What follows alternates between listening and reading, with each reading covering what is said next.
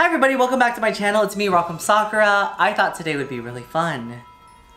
For those of you guys who might be new to the fandom, maybe started getting into Drag Race not 14 years ago. Maybe some of the stuff that Drag Race fans or people that you know that watch Drag Race or some things you might have read on a forum just go completely over your head you just don't get it. The RuPaul's Drag Race Iceberg Explained by me, Rock M. Sakura. Let's just put that out there. It's explained by me. For those of you guys who have never seen an Iceberg Explained video, basically what it is, is we're gonna be going through the RuPaul's Drag Race Iceberg and exploring the fandom. Not just what's on the surface, but what lies deep, deep, deep, deep, deep below the phantom surface that you may or may not get. Just a disclaimer, some of the stuff I might not talk about because it may or may not be triggering for me. Some of the stuff I might not talk about because it might be pretty controversial.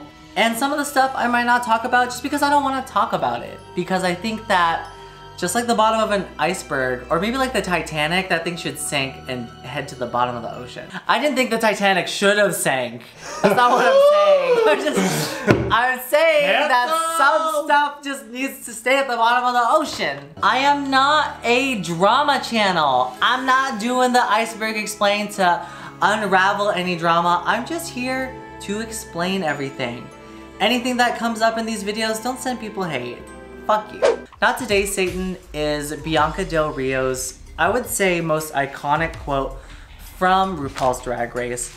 It refers to her um, having a conversation with Courtney Act, Courtney Act throwing a little bit of shade, and Bianca retorts to the camera and goes, Not today, Satan, in reference to Courtney Act's outfit in which she looked like the devil. Ornacia! Oh, I love Ornacia. Okay, Ornacia, Ornacia was on my season too.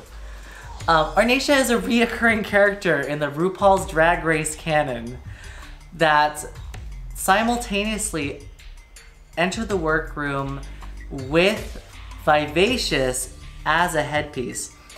Ornacia was a hit sensation among various fans and fandom groups and has thus returned on many, many instances on Drag Race. Also, Ornacias are sold by Vivacious if you want to get an Ornacia. Wait, really? yeah, you can get an Ornacia. Miss Vanjie, and wow, you must be really new if you don't get this one. Vanessa Vanjie Mateo's famous exit line during her first appearance on season 10 of RuPaul's Drag Race where she went home first. Vanjie was devastated to go home and she really couldn't figure out what to say when she was leaving and all she could really think about was her name.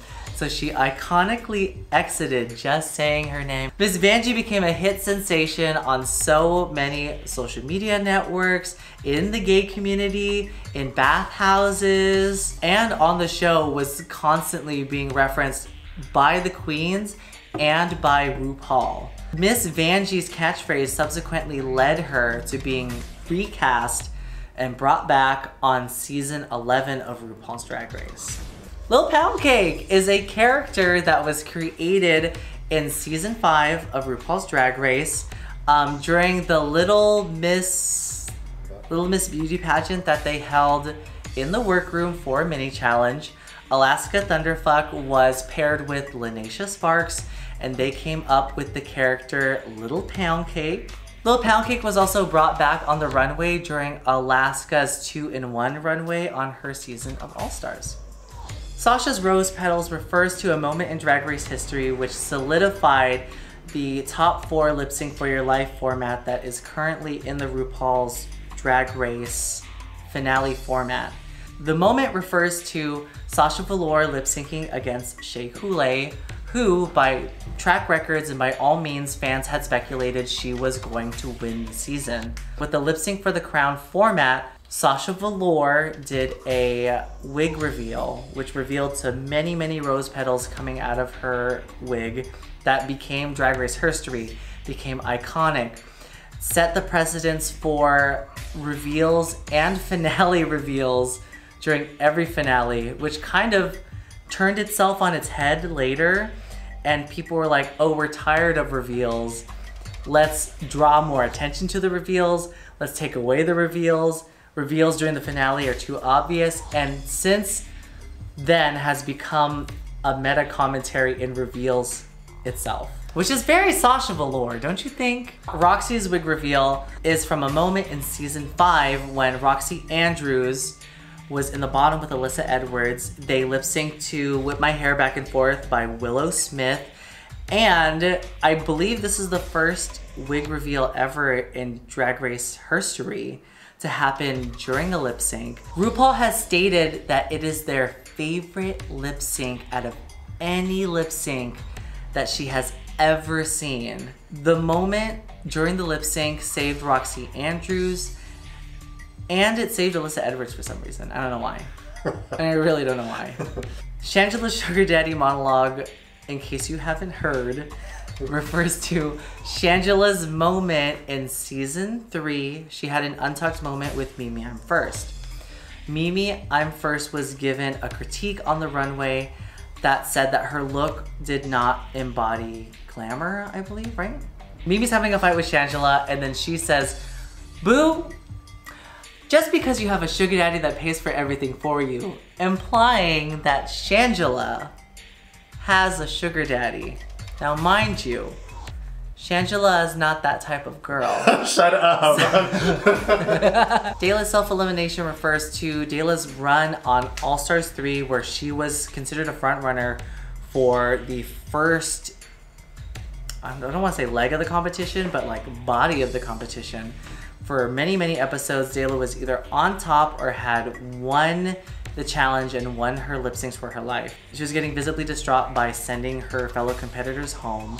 Uh, during her lip sync for her legacy, where she lip synced against BeBe Zahara Benet, where she took off her wig and there was nothing underneath, she won. And the lip sync that she pulled to go home, which during the All Stars 3, 2, 3, and 4 format, you would have to lip sync, win, and choose for another one of your competitors to go home. Dela, instead of choosing any of the girls that she had all thought did a good job, um, on her team to go home, she chose to self-eliminate herself using whiteout that she found in the workroom to write her own name on a lip sync. From then on, I'm pretty sure whiteout was banned from the set. I guarantee you it was banned from the set. Also, no one from production knew that she did that. Okay, so Kennedy's death becomes her runway is a reference to season seven of RuPaul's Drag Race where they did uh, Death Becomes Her Runway based on the movie. Everyone had to come up with a runway that was um, how their drag persona would die. So Kennedy is famous for this quote. What had happened was Trade didn't like the session, so he had gooded me and had thrown me in the fire. But I did not die. I had crystallized. And then Ginger Minj goes, so you had something already, you just had to come up with a story for it. And Kennedy goes, uh-huh. season 1 filter refers to the filter that was used during Season 1 that made everything look like it was covered in Vaseline. Season 1 filter is constantly being referenced on and off of the show as one of the weirdest things about Season 1. Is the Season 1 ladder on there? Uh, it's not. It's not. I'm adding something to the iceberg. The season one ladder refers to a ladder that can be seen in the background of one of the one of the episodes during season one, which really just shows kind of how how rough the production was during the first season. It's so funny. Six-way lip sync on season 11 refers to RuPaul putting a whole entire team in the bottom for a lip sync I'm pretty sure producers thought it was gonna be a really gag-worthy moment and kind of just turned into this whole flop of people flopping around on stage. No one. Also, that gave birth to like the one scene where Honey jumps off the stage and she's like. Party City refers to contestants on the show consistently referring to their drag as Party City whenever something comes off as too costumey. The Party City itself is a reference to season four when Phi O'Hara had a fight with Sharon Needles. And basically what it turned into was Phi Phi O'Hara saying, go back to Party City where you belong. The Shade Tree refers to the Shade Tree, which was introduced in season 8 and only in season 8. It was an opportunity for contestants to do confessionals at any time during the day whenever they're feeling anything. Although it was introduced during the season, only one person ever used it, and that was Kim Chi. Klarna. Klarna refers to a group of girls who were sponsored, I guess they were paid for a gig by Klarna to promote Klarna, which essentially is like a credit card or a way of racking up debt for people, but it also refers to Trixie Mattel and Katya during uh going Klarna. If I get any of these wrong, I hope they let me know. I hope they leave a comment down below and like this video. And remember to subscribe if they want more videos like this one. So if you don't know Santino and Merle, Santino Rice and Merle Ginsberg were both judges on RuPaul's Drag Race. Um, Merle was on seasons one and two, and Santino's was on seasons one to six, as well as made a cameo appearance on season seven. Venus D-Lite appeared on an episode of My Strange Addiction, and I believe her addiction was getting plastic surgery to look more and more like Madonna. Uh, it wasn't about plastic surgery, but it was just her being Madonna. It was just her like trying to be Madonna. Her addiction was being Madonna. That show is so heavily produced. It makes me it makes me giggle. It's so stupid. Okay, so Manila's pad look refers to Manila being on her season of All Stars, which is All Stars season 4. For the padded runway, Manila Luzon had brought a dress that was shaped as a menstrual pad. Manila didn't wear it on the runway. She later posted about the outfit and told the reasoning why she wasn't able to wear it, uh, but she still wanted to celebrate it. I don't know this one. Was Miz Cracker dancing on someone's car? I don't know. I feel like it's.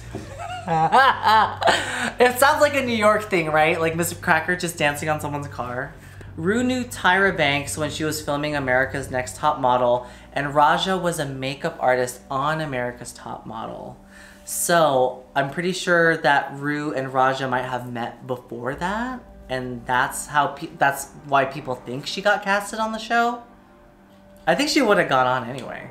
Okay, I think that I'm pretty sure Asia O'Hara's Drag Race refers to um, Asia O'Hara. I think during her season, people like coined her as like the best successor for RuPaul because she like she kind of like took over the show during her season as like a like a mentor. Yuhua saying she was in a coma as a cover for filming refers to Yuhua Hamasaki um, before season 10 came out. Contestants on Drag Race are not allowed to say that they're currently on Drag Race, that they're filming a TV show, that they meet RuPaul, all this other stuff. So usually what girls do is they either say that they're at summer camp, which is kind of an obvious reference to I'm at Drag Race, but I can't say it.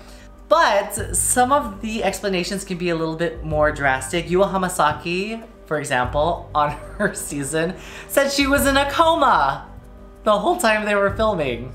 Oh, didn't Katya I'm pretty sure that refers to like an actual thing. Katya gave Trixie a cursed doll. scary. Like a haunted doll?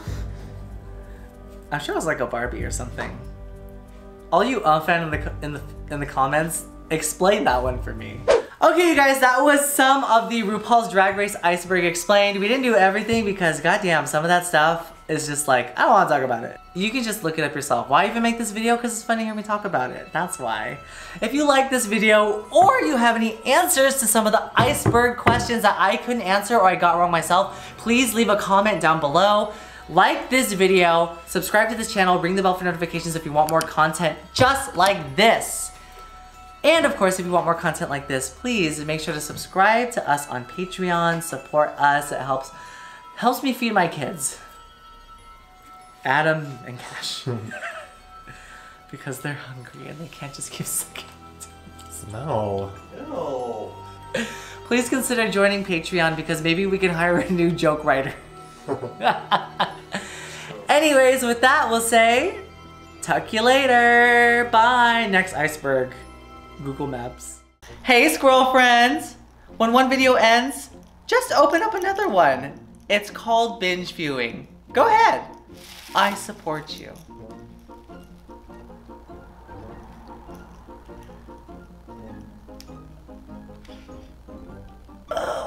Still going. Did they click another video yet?